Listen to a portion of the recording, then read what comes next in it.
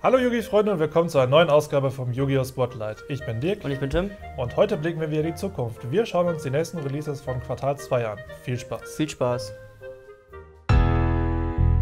Trader. Mit uns hast du gute Karten. Wie üblich an dieser Stelle beginnen wir natürlich mit der Auflösung unserer Gewinnspiele. Und anfangen tun wir mit dem Spotlight Nummer 13, unserem Unboxing zur Arena of Lost Souls. Und da darf sich freuen als Gewinner Dark King Foe. Herzlichen Glückwunsch. Herzlichen Glückwunsch. Dann haben wir noch unsere Facebook-Aktion zum neuen Set Dual Power. Und da dürfen sich freuen als Gewinner Johanna Thiel und Serkan Tikinkus. Herzlichen Glückwunsch. Herzlichen Glückwunsch. Und dann haben wir noch den Gewinner von unserem zweiten Duell, metaphysisch gegen Gyro-Salamander. Und da haben wir als Gewinner gezogen Nikolas Niklas. Herzlichen Glückwunsch. Herzlichen Glückwunsch. Aber auch diese Woche haben wir wieder einen Preis für euch in der Verlosung. Wir haben wieder den Ultimate Tipster Bag Und dort drin packen wir dieses Mal zwei Päckchen Supreme UX Sleeves. und außerdem noch ein Sidewinder Deck Case. sehr cool. Genau, um am Gewinnspiel teilnehmen zu können, müsst ihr drei einfache Dinge tun. Nämlich, ihr müsst diesen Kanal abonnieren, ihr müsst ein Like auf dieses Video da lassen und unter diesem Video einen Kommentar schreiben und dann seid ihr auch schon direkt dabei. Und wir wünschen natürlich jedem viel, Glück. Ja. Gut, weiter geht es mit dem letzten Spotlight. Da haben wir uns ja das Set des Jahres, wie viele ja schon gesagt haben, beschäftigt, nämlich dem neuen Set Dual Power und Ja. haben da ja mal zwei Boxen von aufgemacht und gar nicht mal so schlecht gezogen, wie Nee, ich finde. war sehr gut. Äh, ähnlich war auch die Meinung von euch. Ihr habt das Dual Power Set wirklich sehr gut gefunden, auch wenn man wieder sagen muss, dass einige wieder die Short Prints aus dem Set, weil natürlich einige der beliebten Karten, Ja. die natürlich gesucht sind und ein bisschen seltener vertreten sind. Ähm, da gab es auch wieder hitzige Diskussionen darüber, warum wieder hier Shortprints drin sind. Es hieß ja, es sollen ja keine Shortprints drin sein. Aber sind wir mal ganz ehrlich, wenn wir das Thema nochmal Revue passieren lassen, es gibt in jedem regulären Booster-Set und natürlich auch in Dual Powers immer wieder Karten, die natürlich ein bisschen beliebter und seltener zu kriegen sind. Richtig. Von daher, wir werden es nicht ändern können, das wird immer so sein. Nichtsdestotrotz äh, bietet das halt jede Menge cooler Sachen. Vor allem aber dieses breite Spektrum an Themendecks, die halt unterstützt werden. Wir haben noch einzelne Supportkarten für beispielsweise Donnerdrachen haben Ja. wir. Wir haben ein neues Aroma-Link-Monster. Wir haben Das Set ist krass gewesen. ja, also wir haben Also so viele coole super. Sachen drin. Ja. Wer das Opening noch nicht gesehen hat, holt es auf jeden Fall nochmal nach. Es ist auf jeden Fall sehr spannend. Noch das Set selber lohnt es sich nochmal zuzulegen. Dann kommen wir zu euren anderen Kommentaren. Du machst den Anfang, Tim. Der erste Kommentar ist von Soft Ice Vanille. Ähm, ist Dual Power besser als die Kyber Box aus dem letzten Jahr? Ähm, ich bin ganz ehrlich, ja, weil ähm, doch, weil die Mhm. Kyber Box hat so ein bisschen äh, Kyber immer noch ein bisschen reprintet, also so ein Mhm, bisschen. ja. Dieses Jahr aber sind wir äh, sind die auf keine ganz genauen Protagonisten eingegangen. Ich meine, klar, man Mhm. hatte ein bisschen dunkler Magier äh, Stuff drin, dann Mhm. auch mal ein bisschen was für Kaliberlade oder ähnliches, aber dennoch gab es auch sowohl krasse Reprints als Mhm. auch wirklich sehr gute neue Karten, wo viele auch zum Beispiel drauf gewartet haben, wie zum Beispiel Cyberdrache Nächster, wo Ja. viele drauf gewartet haben und ich persönlich auch nicht gedacht hätte, dass sie so schnell jetzt schon bei uns ankommt, Mhm. weil sie kam auch erst letztes Jahr irgendwann als V-Jump raus. Und deswegen, es ist wirklich ein sehr, sehr gutes Set, ähm, muss man wirklich sagen, das ist wirklich Ja. Hammer. Kann ich nur unterstützen. Bei der Legendary Collection Kyber war ja der Fokus ja auch deutlich stärker halt auch bei dem blauäugig-Themendeck zu sehen. Das muss man ja ganz klar sagen. Es Ja. waren halt viele spezielle Karten für das blauäugig-Themendeck da drin. Aber auch so gab es ein paar gute Reprints, das kann man nicht anders sagen. Aber bei Dual Power ist einfach das Maß an verdammt guten Karten für jedermann einfach deutlich höher. Von Richtig. daher ist da ähm, die Dual Power Edition deutlich besser als Finde die. Kyber Box. Ja. Dann geht es weiter mit einem Kommentar von Cianelli. Er schreibt, wäre Hammer, wenn ihr mehr solche Live-Duelle, wie wir auch schon mit Metaphysisch und Rosalamander gemacht haben, machen könntet. Und zwar mit vielen Decks, die euch so zur Verfügung stehen. All das mit dem Hintergedanken, dass man auch mehr starke Fun-Decks kennenlernt. Ich habe zum Beispiel Metaphysisch durch eure Duelle zum ersten Mal gesehen und finde den Archetypen richtig gut. Ja gut, diese Fun-Decks sieht man immer eher ein bisschen mehr bei dir, äh, bin ich ganz ehrlich, weil ich, es, es ist nicht meins. Also ich weiß nicht, Mhm. ich, ich kann diese, diese Fun-Decks, ich, ich bin nicht so der, so der Typ dafür irgendwie. Mhm. Ich finde die nicht so aufregend zu spielen manchmal, weil mir muss es Combo geben und sowas. Ich meine, okay, ich habe bei den Duellvideos, obwohl ich auch vorher schon, das will ich jetzt nochmal erwähnen, äh, gesagt habe, ich habe das Deck vorher noch nie gespielt und dann auch Mhm. wirklich immer oft gelesen, Tim, du hast die und die Combo nicht gut hingekriegt. Ich weiß, aber ich habe das Deck auch vorher noch nie gespielt gehabt. Bin ich ganz ehrlich. Ich habe mich damit zwar ein bisschen auseinandergesetzt, aber Tja, scheinbar noch nicht ausreichend. nein. Ist aber auch nicht schlimm, hat den Duellen letzten Endes ja auch keinen großartigen Abbruch geliefert, denn letzten Endes sind ja da gute Duelle bei rausgekommen. Vor allem das erste Duell war ja wirklich mega extrem. Es war auch so lange. Ja, es war wirklich cool.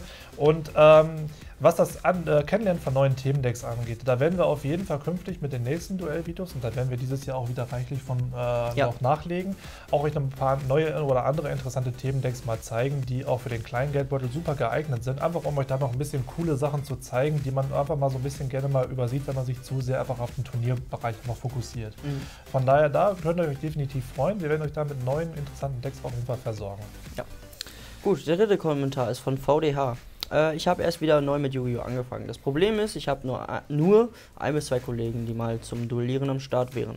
Ich studiere momentan in Emden, Niedersachsen und wollte fragen, ob ihr vielleicht sagen könnt, wo man ganz gut nach Spielern suchen kann oder ob es in, ob, ob es in vielleicht sogar einen Treff oder ähnliches in naher oder eventuell auch weiterer Entfernung gibt. Grüße.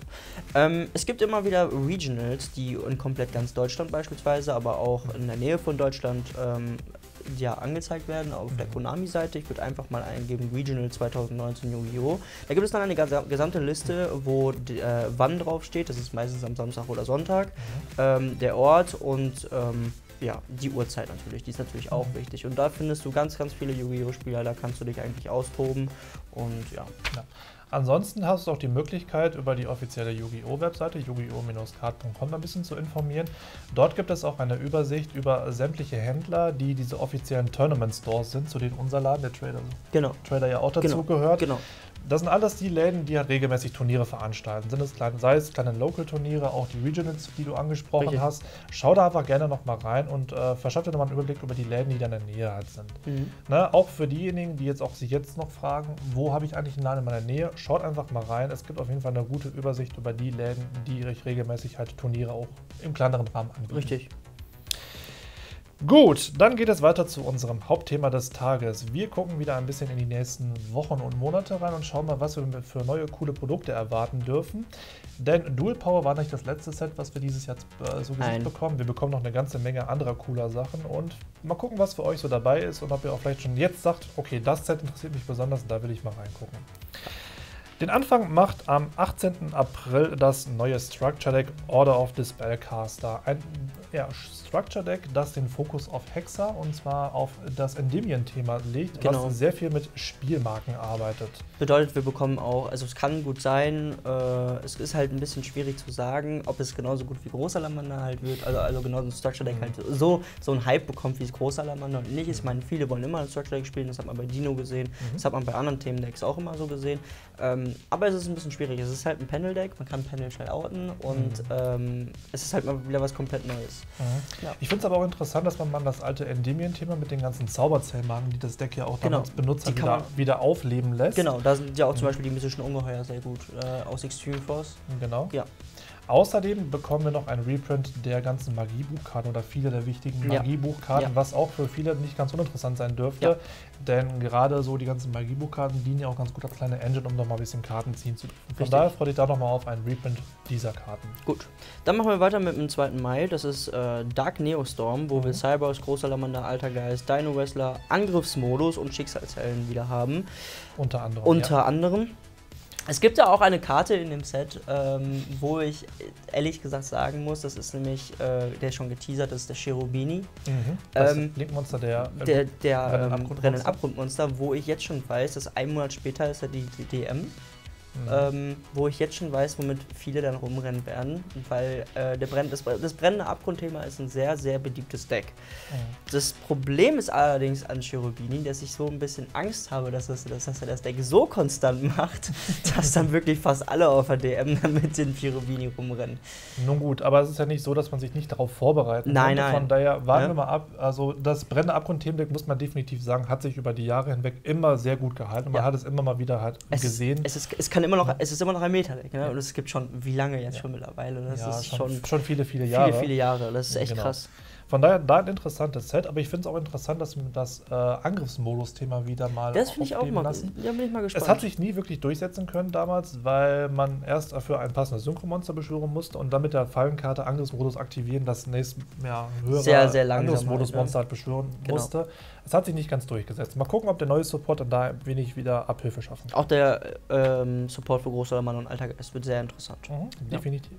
Gut. Dann geht es weiter am 30. Mai mit dem nächsten Speed-Duell-Set. Und zwar Attack from the Deep, was, weil man den Namen auch schon ein bisschen gut deuten kann, äh, den Schwerpunkt auf das Wasser-Themendeck richten wird. Konkret kriegen wir da auch neue Fähigkeitskarten von einem neuen Charakter, nämlich von Marco Tsunami.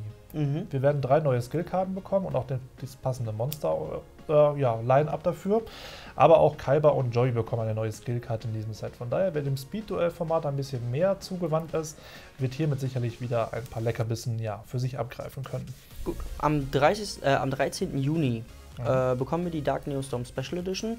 Äh, die Promos unter anderem wurden auch schon bekannt gegeben. Das ist sowohl der Shooting Riser Dragon und die Ma Magical Rise Fusion. Die Magical Rise Fusion ist die Karte, wo wir jetzt den Quintenmagier jetzt aus Double Power, ähm, Mhm. also ist die entsprechende Fusionskarte eigentlich. Ja. Sie vereinfacht es so ein bisschen. Und der Shooting Riser Dragon ähm, war auch eine, ist auch eine Jump-Karte. Richtig? Und äh, die ist ganz cool. Also ich finde sie persönlich finde sie halt einfach schon vom Artwork verdammt cool. Ja, ist wieder sehr stark an das Synchro-Drachenthema angelehnt, Ja. oder Synchro Sternstaub-Drachenthema Ja. angelehnt, in diese ganze Evolutionsreihe und Genau. gibt da dem ja, Themendeck nochmal ein bisschen Support. Ja. Dann geht es weiter am 11. Juli mit einem wahrscheinlich nicht ganz uninteressanten Set, nämlich dem nächsten Battle of Legends Oha. Heroes Revenge. Und da Das darfst du wird- dich auch auf Helden freuen. Das wird so cool. Da kommen endlich Helden und da kommen, glaube ich, sogar wirklich so starke Helden, dass ich nach diesem Set Helden spielen werde. Mhm. Das wird echt gut. Es dürfte interessant werden, ja. Vor allem auch, weil nicht nur Elementarhelden ihren Auftritt haben werden, sondern Schicksalshelden werden Ja. schwerpunktmäßig dort Genau. ihren Einzug finden. Und Visionshelden kommen auch ran. Und Visionshelden Ja. genauso. Es gibt ja noch mehr Heldengruppierungen, aber auch zwei beliebte oder zwei sehr begehrte Reprints werden uns mit diesem Set begleiten, nämlich dem Reprint von Kaliber Schwert Drache und dem Himmelsjäger Mobilisierung Angriff, Ja. der Sucherkarte der Himmelsjägerkarten. Das wird Ja. sehr lustig. Ja, genau. Und eine Fehlerkarte, die im Dual Power nicht drin war, nämlich der Necros Zyklus, kommt auch in diesem Set mit raus. Mhm. So, das heißt, wir haben dann wieder den kompletten Satz an Necros-Karten wieder ja, sehr Komplett. gut greifbar. Ja. Von daher, wer Necros äh, nochmal spielen möchte, hat jetzt die Chance, sich nochmal die restlichen Karten zuzulegen. Gut. Dann haben wir am 25.07. Rising Rampage. Ähm, das ist ein Set, wo sowohl wieder Kaliber, also dieses, ähm, dieses ja, Raketendeck. Raketenthemendeck wieder Support bekommt. Ob es jetzt dann diesmal vielleicht reicht, dass das da ein bisschen sich entpuppt, man weiß es nicht, Wird weil die bekommen zeigen. ja wirklich mittlerweile wirklich recht viele, vielen Support. Ja. Ähm, das Reptilianisch-Deck, das ist auch ein recht älter aus der 5Ds.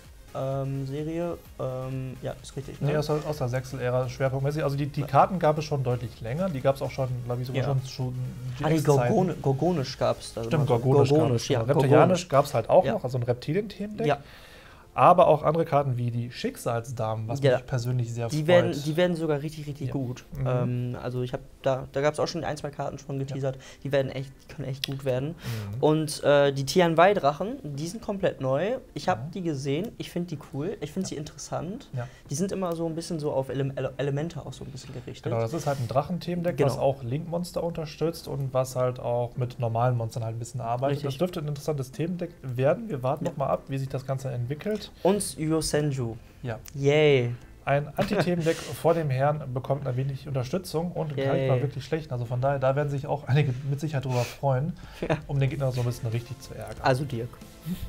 es ist so. ja, das könnte was für mich sein. Ja. Okay. Also, wir haben viele, viele interessante Sachen und das ist noch mit Sicherheit nicht alles, denn nicht alle Produkte, die wir in den nächsten ja, zwei, drei Monaten bekommen werden, sind mit Sicherheit schon ja, geteasert oder veröffentlicht worden. Da kommen auch noch ein paar andere Sachen auch im Sommer noch dazu, Mhm. zum anderen halt neue Tints. Richtig. Also von daher, wir können uns auf die nächsten Wochen definitiv freuen, auf viele interessante Produkte, die auch mit Sicherheit ein bisschen Bewegung auch bei uns verursachen werden, Ja. zumindest was die Decklandschaft angeht. Ja, ich hoffe, ihr habt auch schon ein paar kleine Leckerbissen für euch gefunden, die ihr euch mal ein bisschen näher angucken wollt. Was das ist, schreibt das gerne in die Kommentare. Wir sind neugierig und möchten gerne wissen, worauf ihr euch schon freut. Ja, und dann sehen wir uns beim nächsten Mal wieder. Bis zum nächsten Mal. Macht's gut.